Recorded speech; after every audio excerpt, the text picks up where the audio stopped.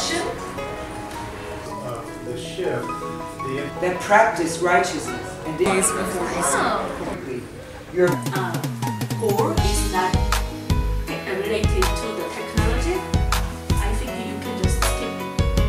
But for this class, we are not to acquire your students. What have, what your students have to acquire. Quand vous pensez travailler avec n'êtes pas tout seul, vous pouvez aller chercher l'information euh, Stanford, MIT, la meilleure information qui existe aujourd'hui sur le monde. Le premier qui pourrait se heurter pour justement